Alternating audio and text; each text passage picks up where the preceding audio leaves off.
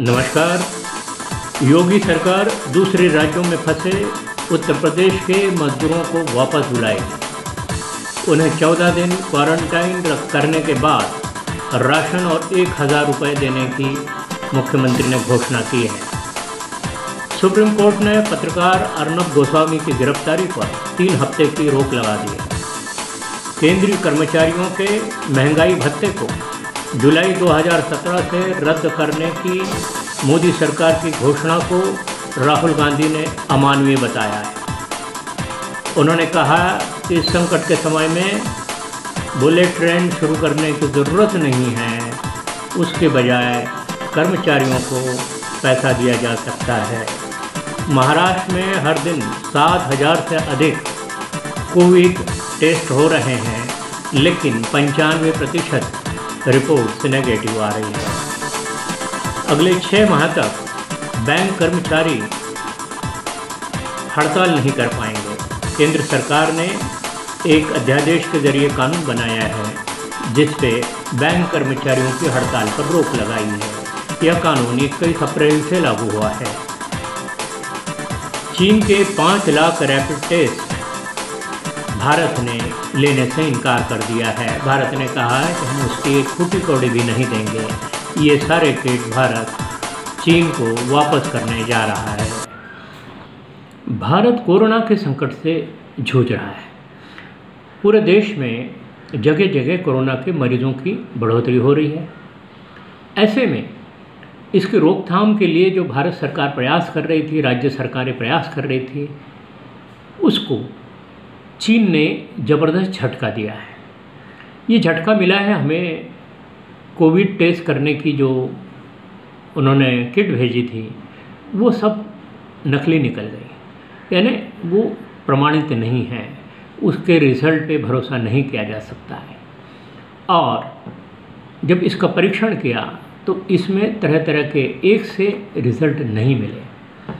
हालाँकि भारत सरकार के ये किट खरीदने के पहले ही अमेरिका, चीन, इटली ने इसको घटिया बताया था। और जो चाइना ने मास्क सप्लाई किए थे भारत, नेपाल और पाकिस्तान को, वो भी घटिया निकले थे, उसको वहीं रोक दिया था। लेकिन चूँकि भारत में मास्क बड़े पैमाने पर पैदा होते हैं तो मास्क में भारतीय लोगों को कोई बड़ी परेशानी नहीं हुई। कईयों ने गमछे लपेट लिए कईयों ने कपड़े लगा लिए। तो मास्क की समस्या तो हमने हल कर दी। किट की समस्या से निजात पाने के लिए सरकार को लगा कि अच्छे दर्जे के हम किट खरीदेंगे। लेकिन चीन ने जो माल भारत को भेजा, वो चीन के जो बिजली की झालर आती है, चार दिन जलती फिर बंद होती है, उसी तरह निकल गया। अब प्रश्न ये है कि क्यों मंगाया हमने? चीन से ये माल। भारत के पंद्रह दिन इस माल को मंगाने में ऑर्डर प्लेस करने में, वहाँ से लाने में और डिस्ट्रीब्यूट करने में चले गए। अगर हम इससे बेटर कहीं के टेस्ट किट लिए होते तो ये पंद्रह दिन की लड़ाई हमारी शायद घट जाती। लेकिन ऐसा नहीं हुआ। इसमें एक और चीज़ हो गई कि पुणे के नेशनल वायरोलॉजी साइंस ने एक किट बनाया था। उस पर सरकार ने भरोसा नहीं जताया। वो तो भारत में बना हुआ था। उसने कहा, हमारे इसमें परीक्षण करके देखो। महाराष्ट्र सरकार ने कई उसमें टेस्ट किया और बहुत उसको अच्छा पाया। और ये तो केंद्र सरकार का अपना उपक्रम था। फिर केंद्र सरकार ने इसके ऊपर क्यों भरोसा नहीं किया? जो किट बांटने की बारी आई और पीपी किट, वेंटिलेटर और इससे कोरोना से जुड़ी साधन सामग्री की बात आई तो केंद्र ने सारा मसला अपने पास खींच लिया। कहा कि नहीं, ये सेंट्रलाइज सिस्टम है, यहाँ से आप खरीदोगे। उसने महाराष्ट्र सरकार को भी पचहत्तर हज़ार किट दिए। महाराष्ट्र सरकार ने पूरा इंतज़ाम कर लिया था। बीएमसी जो मुंबई महानगर पालिका है, इसने यहाँ पे एक दल बनाया था और उन्होंने घोषणा की थी कि कल से हम पचहत्तर हज़ार लोगों के मुंबई में रैपिड टेस्ट करेंगे। लेकिन अचानक केंद्र ने कहा कि ये रैपिड टेस्ट आप रोक दीजिए। वजह, क्योंकि जयपुर में डॉक्टरों ने इस टेस्ट किट की पोल खोल दी थी। उन्होंने वहाँ पाया कि ये टेस्ट किट के रिज़ल्ट अविश्वसनीय है। इस पर भरोसा नहीं किया जा सकता। राजस्थान के स्वास्थ्य मंत्री है रघु शर्मा। शर्मा जी ने बताया कि ये टेस्ट किट एक सौ अड़सठ मरीज़ों के ऊपर हमने इस्तेमाल किए राजस्थान में। फिर हमने कहा कि भाई इसकी प्रामाणिकता जांचने के लिए जो एडमिट लोग हैं, जो इलाज ले रहे हैं ऑलरेडी जो प्रूव हो चुके पॉजिटिव हैं, उन पर इनका टेस्ट किया गया। एक सौ अड़सठ लोग नेगेटिव पाए गए। आप ज़रा सोचें अगर इस पर उन डॉक्टरों ने भरोसा कर लिया होता और उन्हें बाहर छोड़ दिया होता तो कितने सारे लोग संक्रमित हो जाते इससे।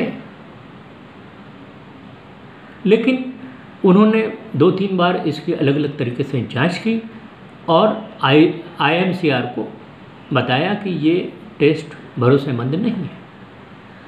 आईएमसीआर ने भी टेस्ट किए और तुरंत सबको आदेश दिए कि कोई इस टेस्ट किट का इस्तेमाल नहीं करेगा।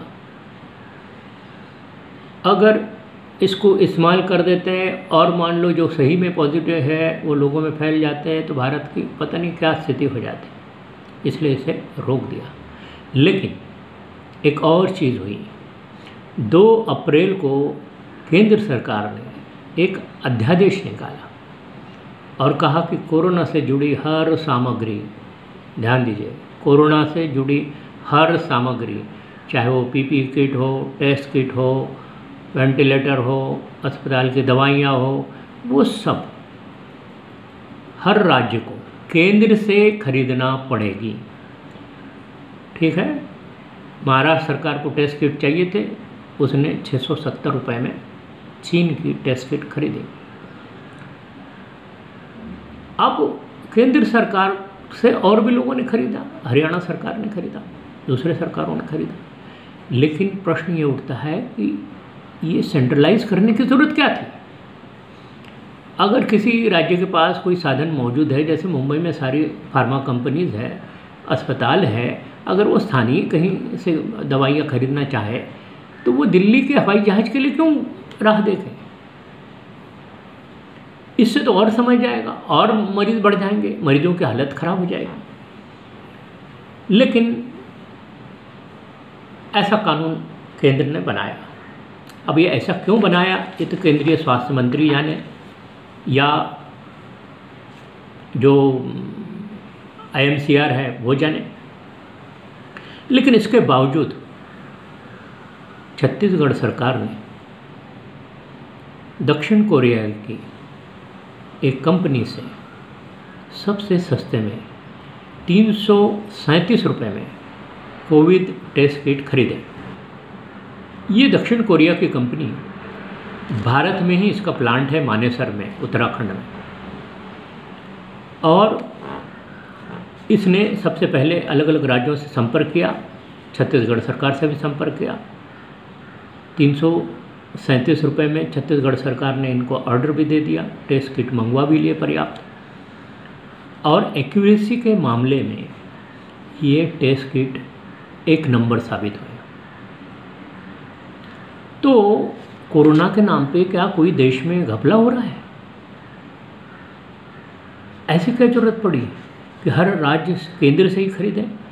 अब मैं जो आपको जानकारी दूँगा उससे आप ये निष्कर्ष निकाल सकेंगे हरियाणा सरकार को ये चीनी रैपिड कोविड टेस्ट की जो आ, किट थी वो एक लाख नग बेची गई। वो हरियाणा सरकार ने सात सौ अस्सी रुपये में खरीदी। फिर कर्नाटक सरकार को ये किट मिली छः सौ चालीस रुपये में, महाराष्ट्र सरकार को छः सौ पचास रुपये में। और कोई राज्यों को मिली सात सौ साठ रुपये में। तो ये अलग अलग राज्यों में संकट के समय अलग अलग कौन सा व्यापार चल रहा है? दवाई के दाम एक से क्यों नहीं? किट के दाम एक से क्यों नहीं? लेकिन ऐसा हुआ है। इसके ऊपर कई राज्यों ने आपत्ति ज़ाहिर भी की है।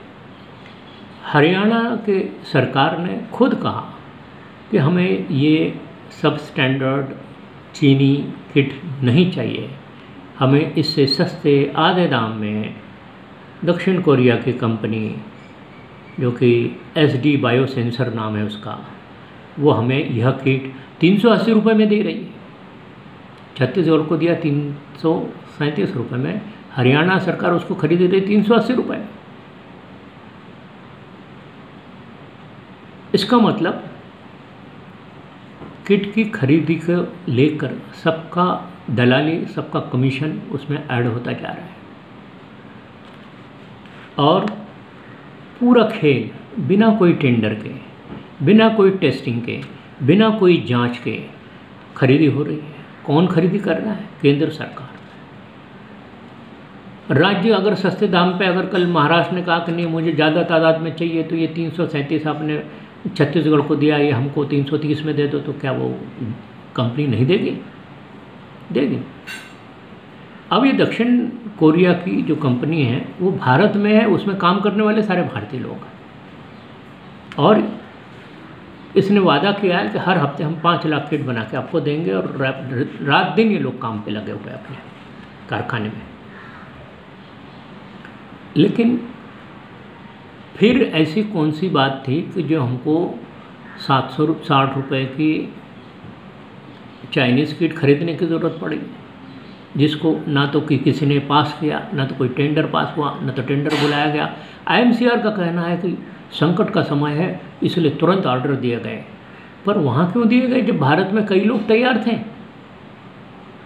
हमने चाइना के ऊपर भरोसा क्यों जताया? जिसके फटाके पे हम विश्वास नहीं करते, जिसकी झालर पे हम विश्वास नहीं करते, उससे हमने, उस पर हमने, उसके किट पे हमने भरोसा किया।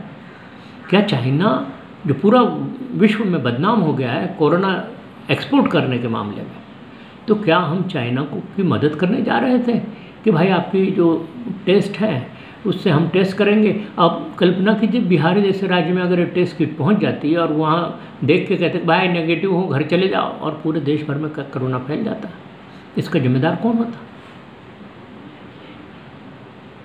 और हम सब जानते हैं कि गोदी मीडिया, ये सवाल किसी से नहीं पूछेगा। गोदी मीडिया ये सवाल आप तक पहुँचने नहीं दे रहा है। इसलिए आपको रामायण दिखाओ, आपके लिए फालतू की बहसें चलाओ, हिंदू मुस्लिम के झगड़ा दिखाओ, इन सवालों पे चर्चा कौन करेगा? क्या ये सब सवाल गोदी मीडिया सोनिया गांधी से पूछने वाला है? तो बताइए सोनिया जी, इतना बड़ा घपला हो गया और आप चुप रहिए। क्या ऐसे हम देश को चलाएँगे? हम सब जानते हैं कारगिल के समय ताबूत घोटाला हुआ था। जब जब संकट के समय देश होता है तो बाबू, मंत्री सब अपनी रोटी सेंक लेते हैं। और फिर आप चिल्लाते रहो कि, सोनिया जी, बताइए, ये घपला कैसे हुआ? आपने क्यों खरीदी? छत्तीसगढ़ में सबसे सस्ती। हम लोग को महँगे हम नहीं खरीद पाए। क्या इस तरह से देश चलेगा? सोचिए। ये गोदी मीडिया 24 घंटे आपको बता रही है। कैसे मोदी जी ने कोरोना की लड़ाई जीत ली? कैसे मोदी जी कोरोना की जंग जीत रहे? हकीकत ठीक उल्टे हैं। टीवी आपको गाइड नहीं मिस गाइड कर रहा है। आज के लिए इतना ही। मिलते हैं। नमस्कार।